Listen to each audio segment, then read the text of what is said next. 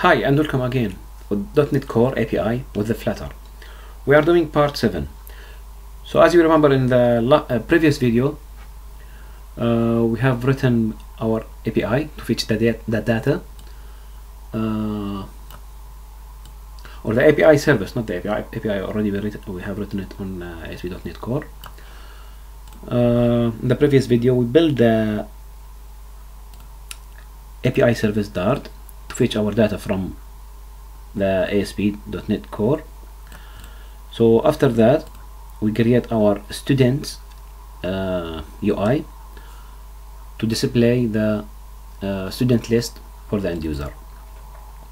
So we've been doing together uh, uh, the last things we have done. Just we set the student list to the student.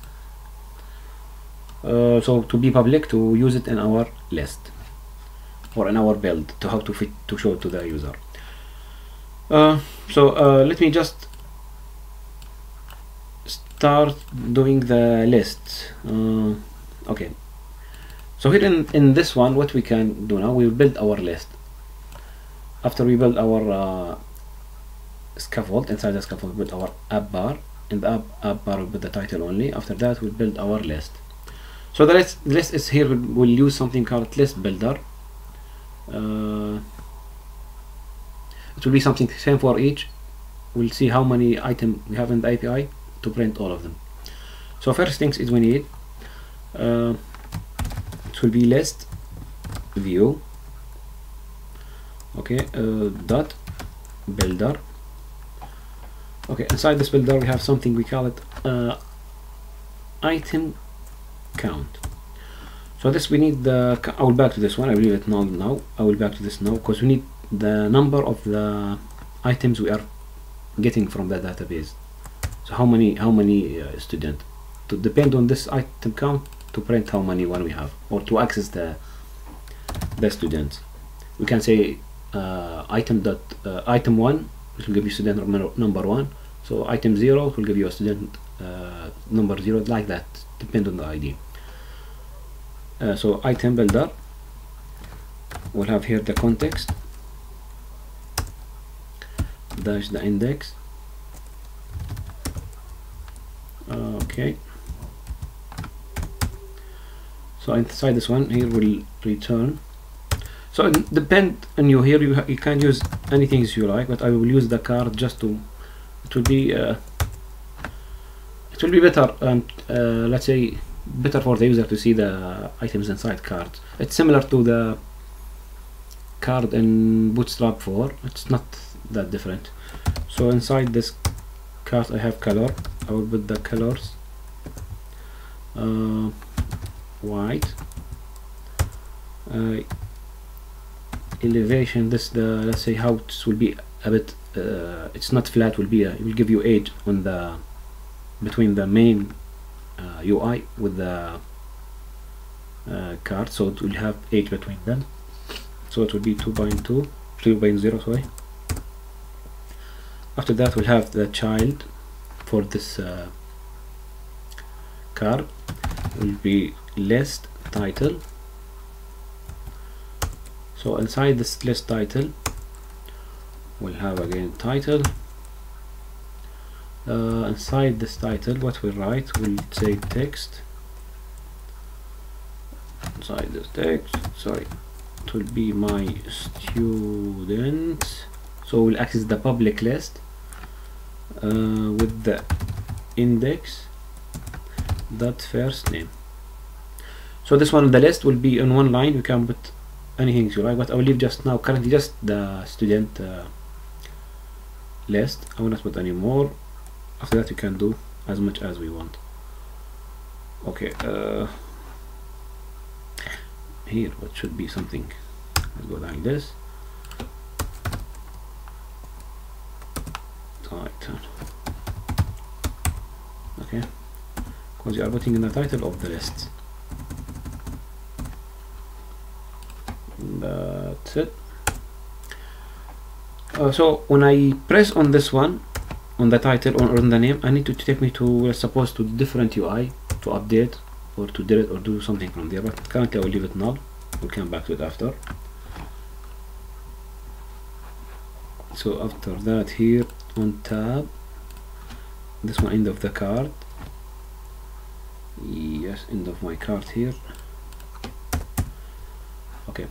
Uh, I don't think so we need anything more to display here. I think that's the name is enough so we need the count only of the student. So the count I can use this one. I can say uh, student dot length. Uh, I think it's better to use the student dot length. I don't need to make it complicated. Uh, students dot length. So this will be the student count. Uh, is that enough to run the uh, what we have done I think here is enough. We, it will be displayed for us the student but how to access this uh, UI because if I run the application I can't access the UI it will open for me just the main UI let me just show you what will happen if I uh, run it now. We have something like David okay nice now. So we'll have the emulator. It will take time just to build the application. So as you see it's just the, the default uh, code from uh, uh, Flutter what you have in the main uh, page here or in the main uh, Dart file. So how to uh, to say to this main Dart file to go to the student list and to call the, the rest of the, the APIs there? So it's easy and simple. I will delete everything from here. I don't need it. I just left it to I left it there to show you. So here I need to call something or import something more. I will say uh, I will go to UI inside the UI I. Have the student UI so what I what I have called my class there uh, if you back to the student UI I call my class student so just if I back here I can delete everything here. And say student like this if I want to pass anything as I said to you you can write it more uh, variables here. To pass anything title or anything more just you can write it here. You can pass it. That's uh, not a big issue. So let's say this one I'm back to our ah yeah yes. Uh, so what it's saying to us is the length was or called null so how to fix this issue? So saying to us there's nothing here let's said uh, this the get feature student. So uh, what the uh, issue is we are calling something is empty. So when you build your uh, list you come here to build the list uh, here you are starting building your list saying to it the the length is zero or is null there is nothing. So here how to do it or how to play around it uh, I will show you how to do this one. You need just to say uh, small thing okay uh, just what we need to go to the so before calling this one I need to do something more. Or uh, what I can say here I said student uh, it's equal null. So the, the list that we have saved all our student it's equal null okay uh, go center. Okay inside the center I will put uh, child. Inside this child I say text. I will say uh, empty. Okay. So if it's uh, null show me this empty. Or if it's not null go build that list. I will try I will show you after this one how to enhance the code and how to make it uh, more readable. It's I think last this it's too too confusing to understand this code. So let's save it and go back again here. So it's showing you empty. And we we are in the student list now not on the main forum. So how to add something? I'll back to my uh, postman. In the postman I have already here something. I say send send send. I'll back again to get. Show me if you have anything yeah nice. Me back to my uh, code. Where's my code? So I need to just reboot it and back here again. It will reboot only. So after starting my application still showing me empty. And I have data here. So what's the issue? If I back to here and just uh, check it good uh, inside my class I declare I uh, have written already my uh, get student. So after that I build. So in the build when I start build still my list is null. Why? Because I didn't call get the student. So I should call get the student where when I build my UI so I can say here uh, please build or get the student prepare everything uh, do everything prepare it and save it on my student list. After that start build my uh, UI so if I save again uh, save I back again. That's it so now it's showing me card or list list view inside it card. Inside the card I have list tile. And we'll we'll see after that what mean that list tile and there's more things we'll see it when you add icon in the left or the right or add button or something like that. Uh, as I told you at the beginning the uh, main main things about this course is just to learn how to fetch your data uh, and work with this uh, stuff. It's not animation not how to style it it will see the style is not that good. Uh, so we have a few minutes. Let me just save this time and to do something uh, enhancing the code or cleaning my code. As I told you what we can do with the flutter we can do uh, enhancing the code to be better than this. So if you see here the app bar what you can do with this app bar I can cut this one from here.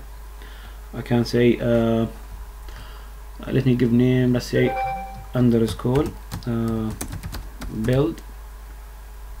Let's call this build app bar. Okay. This build app bar what I will go here in the button I said widget. Uh, this widget I will call it uh, underscore build app bar. Inside say return return for me this app bar. I think you see how what we have done now. I just I just took my, the code from the top and added it here. It's some similar to OOP and make it easier. So write my method as a widget here and call it wherever I want here. Even I can save it in the main one. After that I can inherit it wherever I want. So now here I, I clean the code a bit here so even this the I can say from here my list should be careful always with the brackets here it's confusing sometimes and not easy to get them.